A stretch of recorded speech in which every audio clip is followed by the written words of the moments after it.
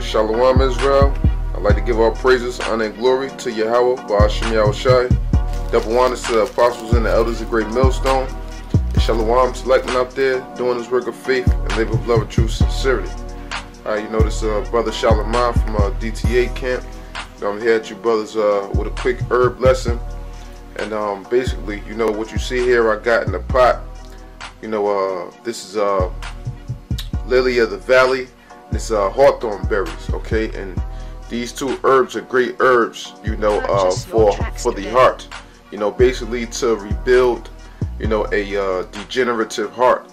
You know, these are typically used, uh, you know, for older people and things that nature. But these are two of the top herbs that uh, you can use.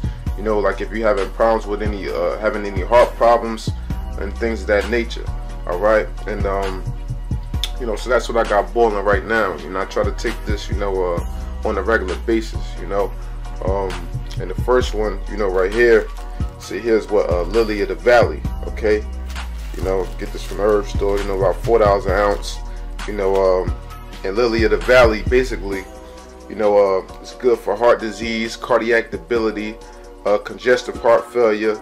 Uh, helps to, uh, you know, uh, dilation of your your blood you know, open up your uh, clogged arteries, um, lowers blood pressure because it's a natural diuretic.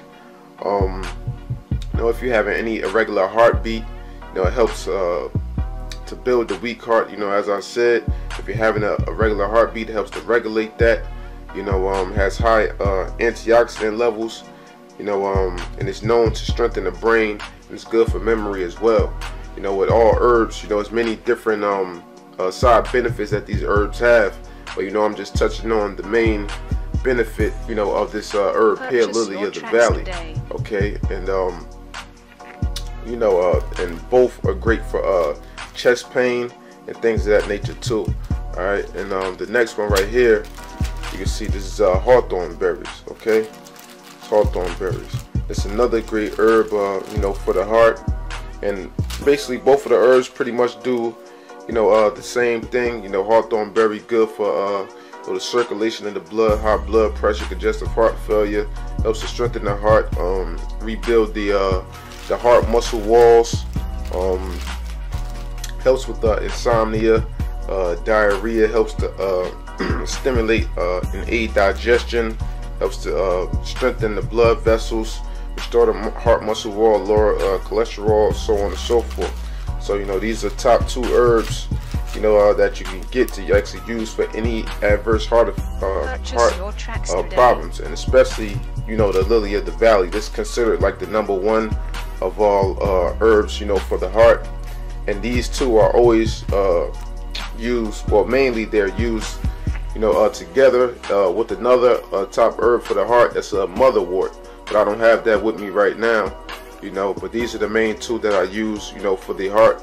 And also another thing about the uh, lily of the valley once you see how they actually grow you know um, they have a, a, nickname for lily of the valley and it's called Jacob's ladder.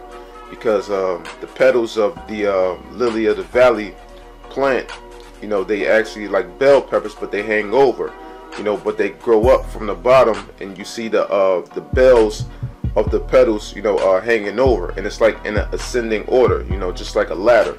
So that's why, you know, um, they call Lily of the Valley, you know, a nickname for it is called Jacob's Ladder. All right, and this uh, pretty much grows out there uh, in the UK uh, around May, and you know we're approaching May right now, you know. So um, you know that's pretty much it. You know, just for uh, any brothers that may be having any heart problems or any heart trouble, these are two top herbs for the heart to rebuild your heart, you know, uh, to help, you know, pump more blood throughout your heart.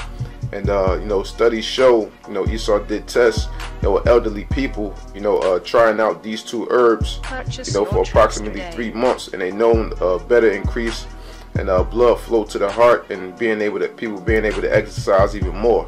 Okay, so, you know, as you see, once again, you know, I got it boiling on the pot right now. It's pretty much, you know, it's done. So I'm about to, uh, you know, consume this. So, um, you know, I post a scripture up at the end of this lesson. So, you know, with that, you know, I hope you brothers were edified, you know, from this lesson and, you know, gained a little bit of information on these two uh, herbs, you know, for to rebuild the heart.